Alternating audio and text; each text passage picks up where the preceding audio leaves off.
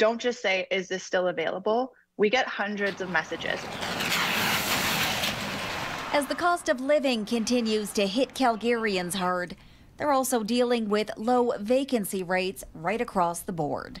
The red hot rental market means potential tenants need to stand out from the competition, kind of like a job interview. So provide some information such as your uh, who's looking for the unit, when you want to move in, um, why you're moving from your current unit, if you have any pets. Um, I allow pets in my rentals, those sorts of things. So that's going to make you stand out and leave a good first impression.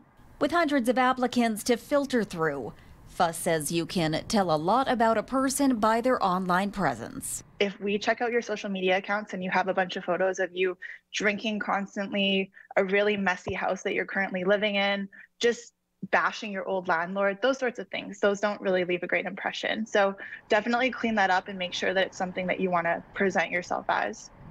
And when there's more demand than supply, it's hard to find competitive pricing, and fraud often comes into play.